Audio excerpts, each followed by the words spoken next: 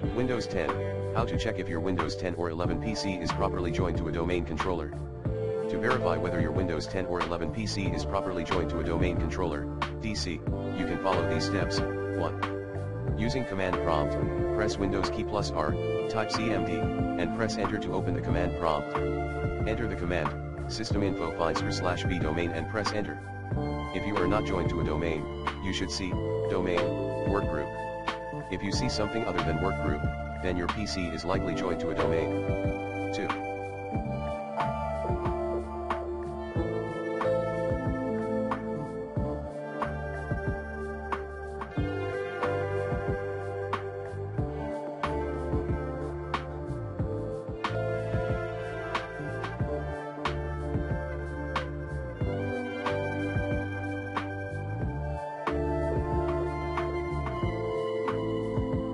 Additional tips, to further validate connectivity to a DC, you can use tools like Active Directory Explorer, AD Explorer, or LDP.exe.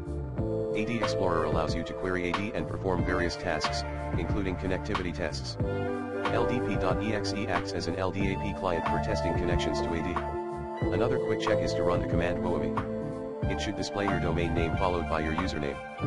Additionally, running update slash force can confirm that you're properly joined and logged into the domain controller.